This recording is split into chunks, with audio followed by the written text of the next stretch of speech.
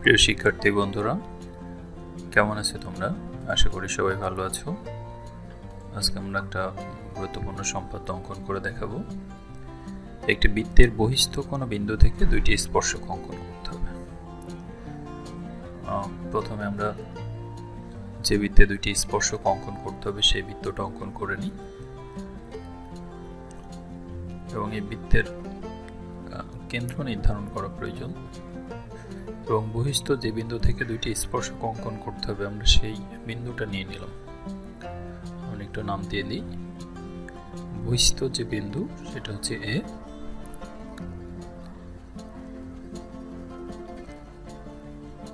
এবং এই বৃত্তের কেন্দ্র যেটা,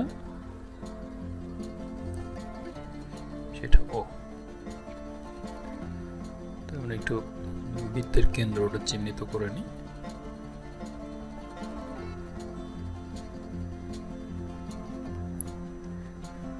লাল এই বিন্দুটা হচ্ছে বৃত্তের কেন্দ্র। তো এই বৃত্তে দুইটি স্পর্শক অঙ্কন করতে হলে বহিস্থ বিন্দু এবং বৃত্তের কেন্দ্র যোগ করে দিতে হবে। আমরা বহিস্থ বিন্দু এবং বৃত্তের কেন্দ্র যোগ করে দিলাম। দুইটা বিন্দু যোগ করার ফলে আমরা একটা রেখাংশ পাচ্ছি, লাল রঙের এই রেখাংশটা।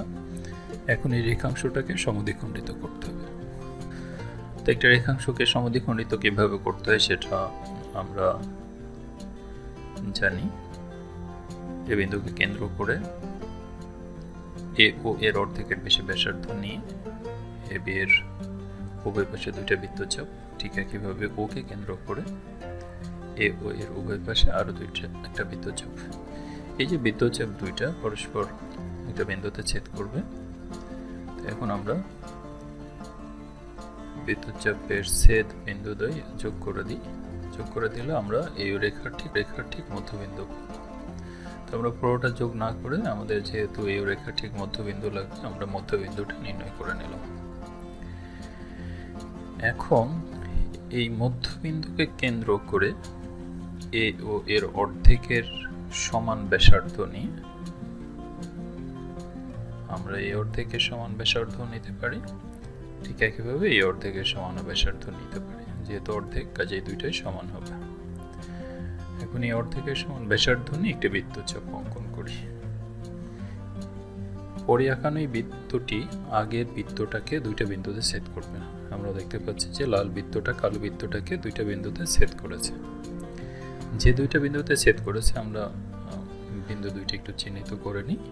এই যে নীল রঙের যে দুইটা বিন্দু, এই দুইটা বিন্দুতে লাল বৃত্তটা ছেদ করেছে।